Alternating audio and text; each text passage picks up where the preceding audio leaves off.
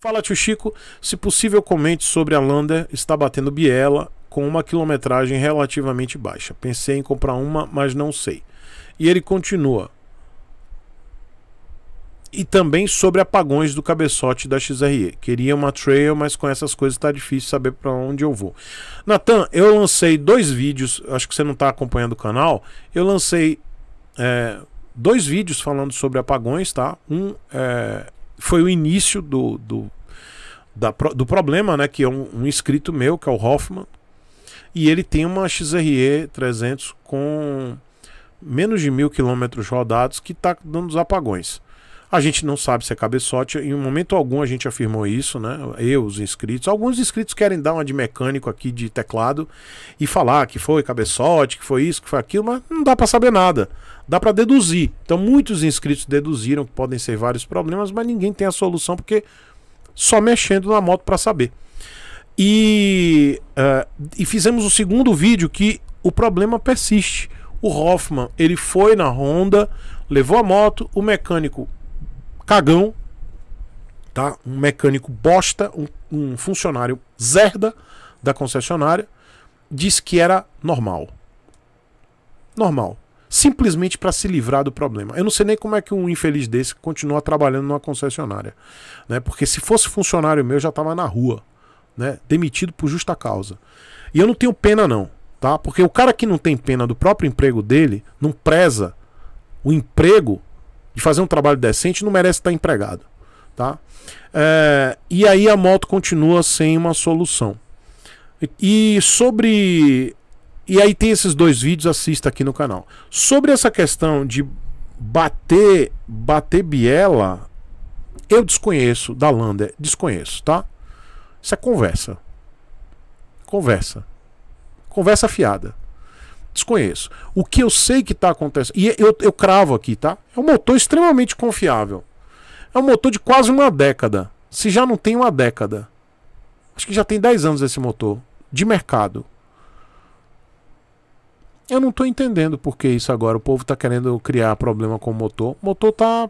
Mesma coisa. Inclusive, é alvo de crítica da, da Yamaha, porque eles não mudam. Eles não fazem nada. O motor é o mesmo já há milhões de anos, há uma década. Eles fazem ajustes pontuais para emissões de poluentes, etc, etc. Já se passaram dois, duas leis de emissões de poluentes, o Promote 3 e o Promote 4. Estamos caminhando para o 5, eles continuam com o mesmo motor. Aí, é esse papo. E assim, quando vocês vêm com esse papo, ah, batendo biela, não sei o que, é, pra mim é tudo conversa. Ah, o chassi da, da, da Fraser tá trincando. Tá trincando a zorra. O nome disso é grau. Chassi trincando é grau. Tá? Grau. Cara, o grauzeiro vai lá, dá o grau e depois, ah, que quebrou, a Yamaha não presta. O chassi enferruja, enferruja. Todas as motos da Yamaha enferrujam. Porque a Yamaha é descarada em relação a tratamento anticorrosivo de todas as motos. É descaração da Yamaha. Tá? Isso é geral. Agora dizer que o 4 está trincando simplesmente por trincar, uh -uh. isso é grau. Tá? Em relação a bater biela, isso é conversa fiada. Tá? O que está acontecendo hoje com a Lander? É, a, é o retentor de, de bengala está vazando. Por quê? Porque provavelmente eles mudaram o fornecedor ou o fornecedor que eles têm mudou a qualidade do material, da borracha. Por quê? Por causa da pandemia, fornecedores, insumos. Não justifica. Mas pode ser isso. Então é geral.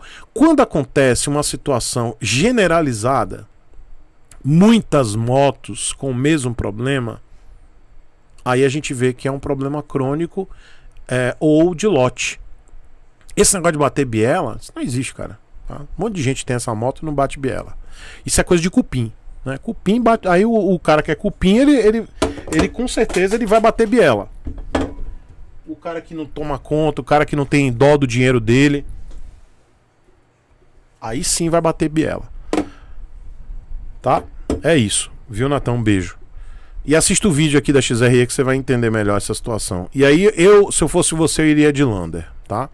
A Lander, com todos os problemas que ela tem, com todas as deficiências, ainda é uma moto confiável.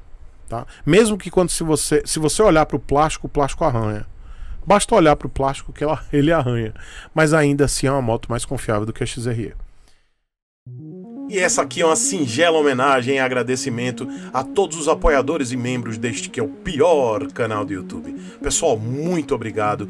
O nome de todo mundo está aparecendo aqui agora e vai aparecer no final de todos os vídeos desse canal aqui. E se você gosta do conteúdo, quiser se tornar um membro ou apoiador, mas principalmente um apoiador, vai lá no apoia.se barra Chico Sepúlveda. E se você quiser se tornar um membro, toca aqui nesse botão embaixo, seja membro. Muito obrigado.